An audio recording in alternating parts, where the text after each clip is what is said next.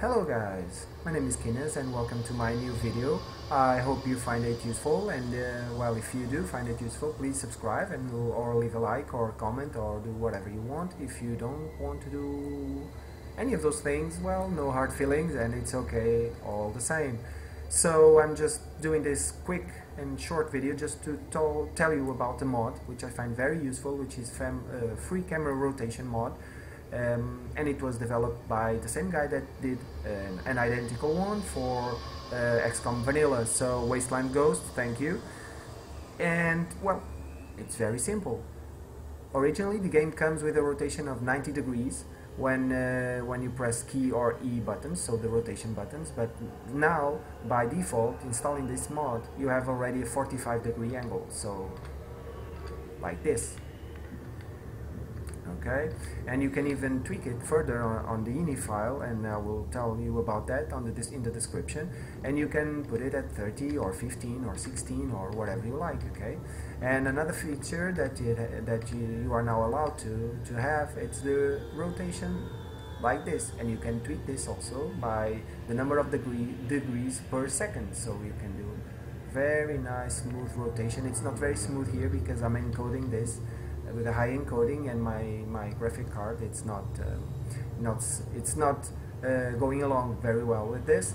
Another thing that you can do now it's the zoom in and zoom out okay step by step or like this. And another cool thing that you have which is not within the mod but I don't know if many people know it. It's the zoom toggle uh, key which is the Z. And by doing that you have a nice overview about your team and the surroundings. And you can even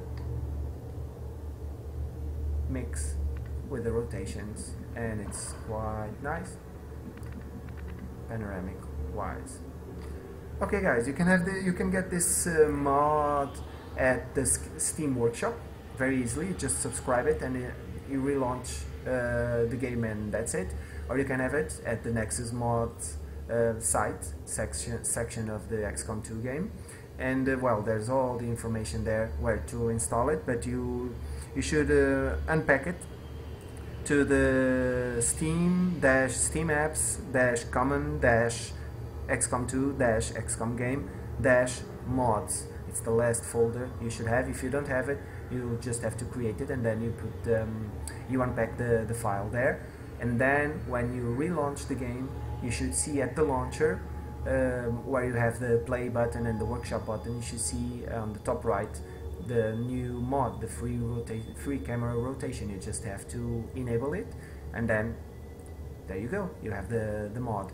But please be careful because if you do a save with a mod and then you remove the mod you might not very it's very likely that you cannot use that save anymore. So be very careful. Uh, I recommend you to do a hard save first so that, that you save your campaign up up until that point of course. And then be, be very careful. If you really want the mod then you can continue. If you are just testing mods please be careful. Test it. And then if you're sure you should uh, and you could continue. If not be very careful and disable it um, before doing any well any progression okay? So yeah that's it. This is my my video and Kinas is out. Bye guys